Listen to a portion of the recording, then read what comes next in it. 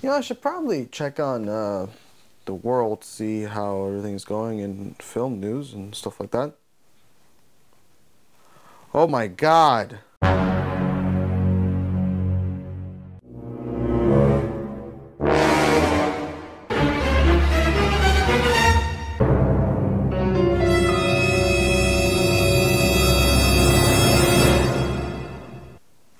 Molina supposed to be uh, Dr. Octopus in the new Spider-Man movie.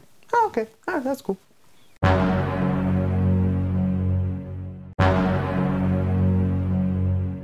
Hello, ladies and gentlemen, what is going on? My name is Brandon Sella, and uh, thank you for tuning in again to an adventure in art house cinema. Last time we checked out Twin Peaks Fire Walk with Me, that big old dumpster fire of a movie, but I decided, you know, let me take a break. I know I was supposed to go to like the Kurosawa movies and get back to that, but I need kind of a refresh, kind of like a, a new start to stuff, uh, and my DVR is full, so, you know, sue me. Uh, so I was going through that stuff, and I thought, okay, what counts as an art house movie? Movie. And then I was like, ah, American Beauty. Okay, I've, I've heard about that movie, but I haven't really, you know, I haven't seen much. I've seen like little clips and little stills, like about the rose petals and stuff like that. And I go, ah, you know, maybe, maybe that could be good. And I was pleasantly surprised at this movie. So today we are going to talk about Sam Mendes's American Beauty. Sam Mendes? Sam Mendes's. Sam Sam Mendes. I'll, I'll put it here. Sam Sam Mendes, American Beauty. Bam. So American Beauty follows the story of Lester Burnham, played by Kevin Spacey, who is not controversial in any way, and uh, and and allegedly he has done nothing wrong. Allegedly he is he cleans a whistle. There's nothing controversial about him. And anyway, aside from that awkward moment, uh, yeah, so it follows uh, Lester Burnham. Uh, just to get this out of the way, uh, I'm going to be praising uh, Kevin Spacey's performance as Lester Burnham and talking talking about his performance. I am separating the two of them as you know, character and actor. So just getting that out of the way, it's it's kind of awkward to talk about it, especially this movie. It's uh, yeah, it uh, American Beauty is not necessarily aged the best, especially when it comes to the lead. Um, but it is it is what it is. It's unfortunate because it's such a great movie. It basically the story follows this guy Lester, uh, and he's kind of he's kind of a punk. He's kind of like a, not a punk. What's the proper term? I would say there's a colloquial term that sounds like that sounds like mimp but I don't know if it's like YouTube friendly or if it would be correct in this sense but he's kind of like a, a putz. There you go that's the right word. Uh, you know Kevin Spacey's character is kind of a putz. Um, he's being dragged around by uh, by his wife Carol who's played by Annette Bening uh, and he doesn't have a good relationship with his daughter played by Thora Birch, his daughter Jane, uh, and he's just kind of been been beaten down by himself and by the way that he's been treated and by and by life. And so he's trying to to take his life back in a way. And the whole movie kind of follows him and the effect that he creates around him. Because it's not so much that he changes but he changes and it affects everything else that then changes around him and kind of comes back to him. I'm not going to spoil much, but it's it's a movie where you see a domino effect, if you will, of just what happens when what when something or someone changes and how that affects everything else. And that's essentially the story. It's a it's a black comedy or like a, a, a dark comedy. I forget the the actual term is I think black comedy, but it's a tragic story that's also very hilarious and it's it's such a great movie because it's able to blend so many different elements of both comedy of drama of kind of suspense elements and it and it builds these characters that are so grounded in reality but at the same time are also very ridiculous. I don't know about you but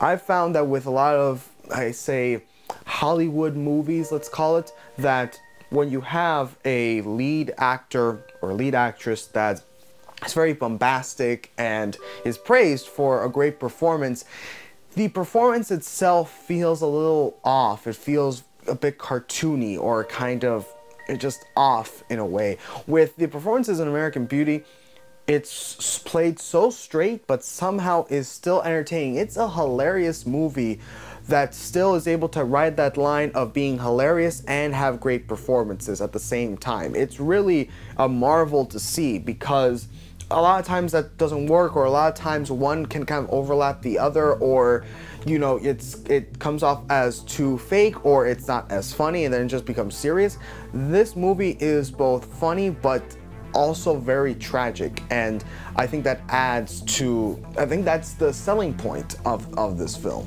the film also deals with a lot of very complex themes. There's stuff about abuse, there's stuff about uh, separation, you know, a fractured family, uh, sexuality, um, uh, older uh, and, and younger attraction, which is not awkward at all considering the lead actor. Not not awkward in the slightest. It's not like this movie aged very poorly because of various allegations uh, towards the lead actor. It's not like any of that happened. No, not at all.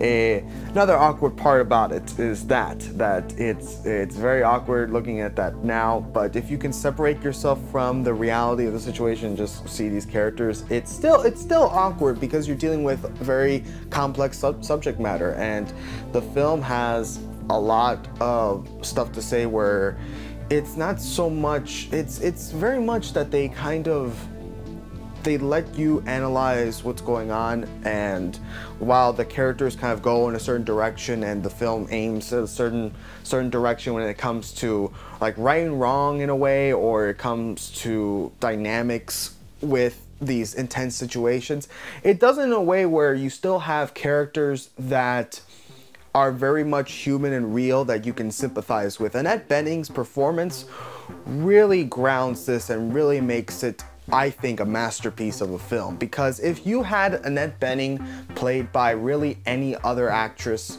at that time of, of equal like performance or equal talent or equal stardom, they they wouldn't bring it home as Annette Bening does because she just makes that character work and makes that character feel so like so tragic and so okay like i understand what's going on with this character. And same thing with thora birch who plays the daughter that you know there are a lot of these performances that ground it that ground the film and let you see the other perspectives and let you see and not in a way that is that too distracting as with other films. It really gives you the full perspective of what things are going on without you getting lost in different parts of the film and different characters. And it's all still centered around this town, this this really just two families. It's really like it's like eight characters and they're all awesome. They're, they all have varying levels of, of like great scenes and they're all kind of hold their own in these different scenes and it's just a it's a joy to watch. But it's also super dramatic and super intense. Again i can't say enough how sam mendes is able to parlay both the funny and the and the drama all together. And mind you this is his first movie this is his first directorial feature film like he would go on to make like Skyfall, Spectre, and then 1917 is his most famous recent one. But this is his first movie. Like, you know, that's that's the that's the dream is to have a movie like this be you know you know others will say like Reservoir Dogs and some of these other great di directorial debuts, but like this is a masterpiece right out of the gate, you know, and I, I, that's that just blows me away. The, in basketball terms, it's like when Wilt Chamberlain uh, came into the league in 1960 and won the MVP. Like you just don't, it just doesn't happen. It's a it's a build up. Even with like some of the greats like Scorsese and some and some of these guys, where you know, okay, yeah, Mean Streets is good, but like Taxi Driver is is right there. He, Sam Mendes just came in and was like, nah, y'all, I'm gonna make I'm gonna make a masterpiece, and bam, and it's like holy dude, like you're, that's insane. So yeah, technically this film has no flaws whatsoever. Um, it's not the sexy cinematography of a Kubrick film or even like 1917 where it, the selling point is the cinematography.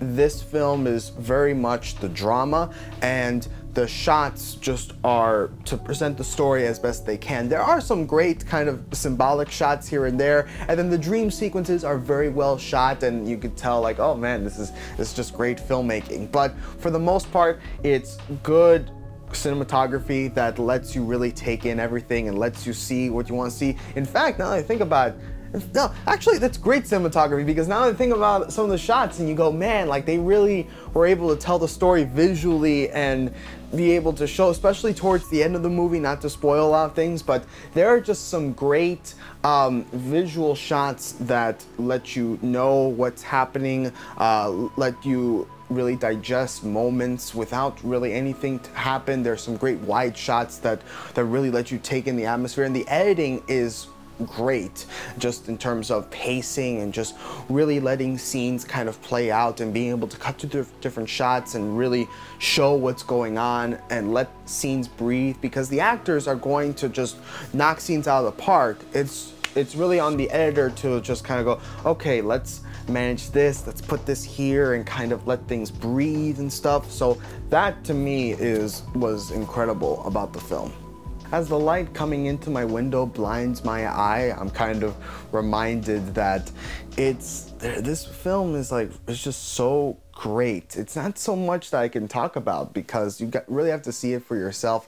I recommend it for really anyone. It may it may not be an art house pick, but it's the style is just so great that I just wanted to include it here and it's really a film that when you see it or when you see the cover or you kind of glance at it you go eh maybe this this isn't that good. This was this was my opinion on it for a while that you go oh, okay I'll lump this in with a lot of the other great movies like uh, I don't know being John Malkovich and some of these other picks from the late 90s talking about that um, I have now completed the um, the the quadrupleology the qu quality or whatever of 1999 films about a depressed guy at work because you had Office Space, you had The Matrix, you had oh my god, there was a there was a third one. You had Office. Oh, yeah. So Office Space, The Matrix, and American Beauty. All of these came out in 99. I don't know what it was if like the studios were just like, well, part of it was from different explanations and I'll throw in uh, I think Ed Norton explained it about how the studios at the time were kind of giving different directors uh, more of a chance or they were letting kind of smaller studios go and do their own thing. It was a combination of, of a few events that happened there, but it all all films about like, oh my god, this corporate job sucks and I hate it and here's a movie. And it's all in different forms and different variations. But yeah, so that's a movie marathon if you want. Like do do like Office Space, Matrix, and then American Beauty because all four of them in varying degrees are awesome, and American Beauty fits around along with them. Uh, every all the praises that this film gets is completely justified. I I don't have anything else to say. This is going to be kind of a shorter review because there's not really much to talk about. I go see it. Uh, it's rated R. Um, you know, I wouldn't recommend it to kids. Obviously, I wouldn't re recommend it to um, people just getting in to new films and maybe like you know just showing them this would be kind of a turnoff. I would say if you if you're watching films and this is kind of your first foray into I guess the the filmmakers favorite films stuff like I don't know how to describe it because there are certain tiers to like how you break down films when you get into like Kurosawa levels this is I think a level right above Kurosawa if we're talking about how deep this iceberg goes where the where American Beauty and some of these other films, like Fight Club, for instance, kind of fit in into films that you watch before you get really into the deep of stuff. And I'm happy that I was able to to watch this. This film is is tremendous. It's I mean, if I'm going through my list, it's probably one of the greatest 90s films of all time. I highly recommend it. Like, you know, go check it out. If it's on, if it's on Showtime or, or whatever, record it. If it's on some streaming service, go ahead, record it as I'm being blasted by the sun. It's my, oh my God, I'm getting blinded. Uh, so please go ahead and check this film out. It's tremendous uh, as, you know, it's, it's, it's great. I can't say anything else. I will be back next time to talk about, uh, to finally talk about an Akira Kurosawa film. I'm gonna try and knock them all out. I'm going to start going through, I think Ikiru is the next film. So hopefully I will actually stick with that. If not, I'll go to some other crap or something. So definitely check that out. Uh, thank you guys for watching and uh, have a great day. Thanks for thanks for coming by.